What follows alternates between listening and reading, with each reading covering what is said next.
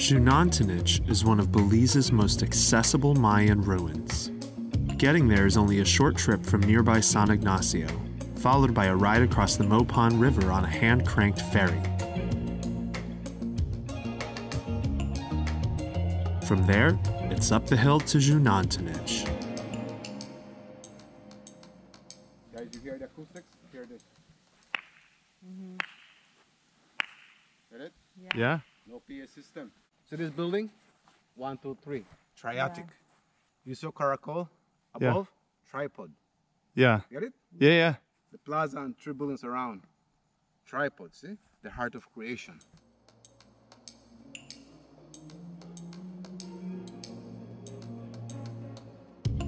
El Castillo.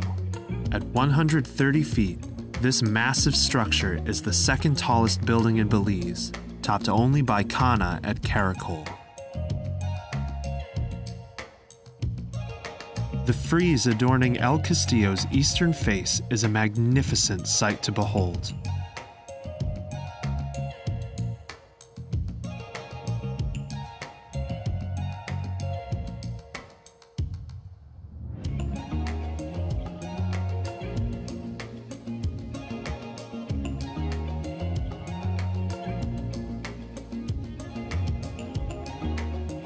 El Castillo certainly lives up to its name. Climbing this imposing ruin feels like you're ascending some mighty castle up into the clouds.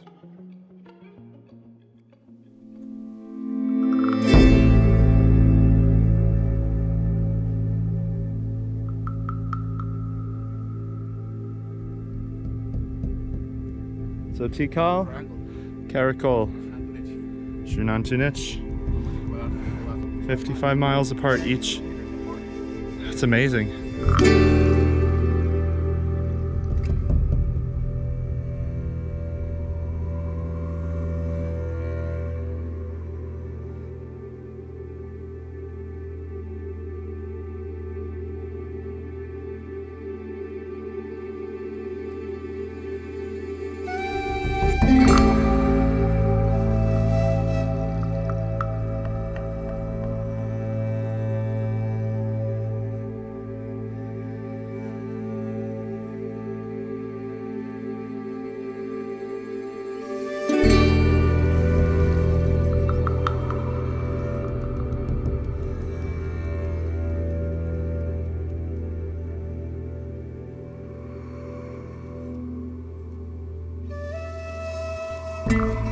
Onward to some of Xunantunich's other wonders.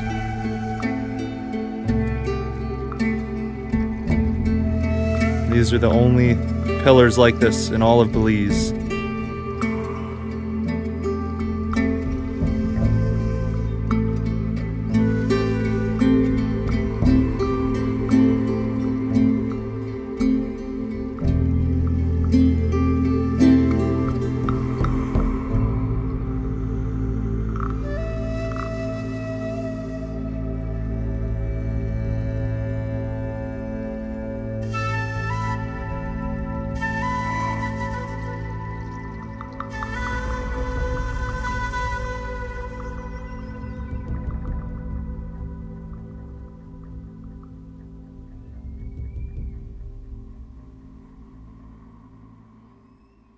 Poison wood. We've heard a lot about it. Gives you a rash if you touch it. But in nature, the cure for it always grows right next to it. This is gumbo limbo. It heals the rashes from that tree. In 2016, a major tomb was unearthed here. This tablet, recording the death of Lady Batsek of Calakmul, was found within, alongside the remains of a man believed to have been Maya royalty.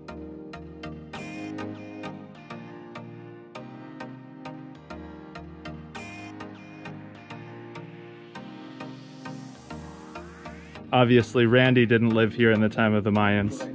This is why they've sealed off some parts of Xunantunich because of people vandalizing it.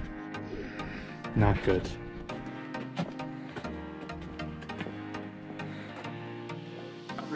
Months ago.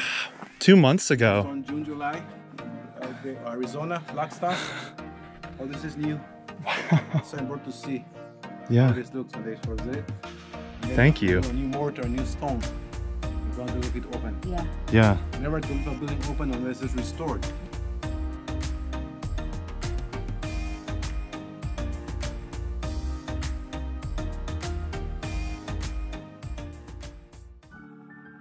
With our tour of the ruins finished, it was time for a final stop at the visitor center.